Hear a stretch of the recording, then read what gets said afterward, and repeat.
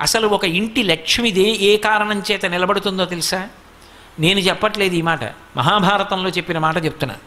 లక్ష్మీదేవి ఏ ఇంట స్థిర నివాసం ఉంటుంది అంటే ఏ భార్య భర్త కీచులు అడుకోరో అస్తమానం నింద చేసుకోరో. ఆయనకేం తెలుసండి? మా పుట్టింట్లో బోల్డ్ అన్ని పూజలు కానీ ఆయనకేం తెలుసు? నన్ను చూసి నేను మా అత్తారింటికి వచ్చిన తర్వాత నమస్కారం పెట్టాలని నేర్చుకున్నారు. అందనుకోండి ఎందుకు ఆ పూజలన్నీ? ఈశ్వర స్వరూపుడైన భర్తను నింద చేసేదానికి లక్ష్మీదేవి పూజ చేసి బయటికి వచ్చి భార్యని నింద చేశాడనుకోండి ఎందుకు ఆ పూజ? నీ ఇంటి లక్ష్మి ఆవిడ.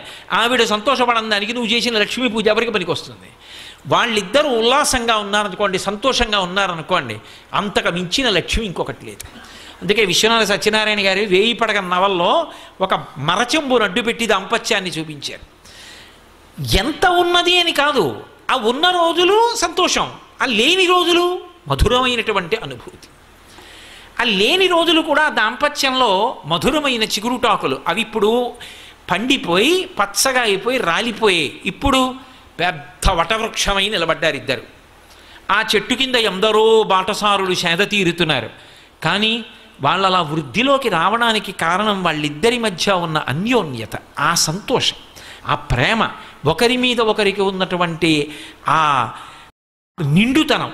దాని చేత లక్ష్మీదేవి నిలబడుతుంది. తప్ప అసలు భార్యాభర్తలు ఇద్దరు అస్తమానం దెబ్బలాడుకునే చోట లక్ష్మీదేవి నిలబడ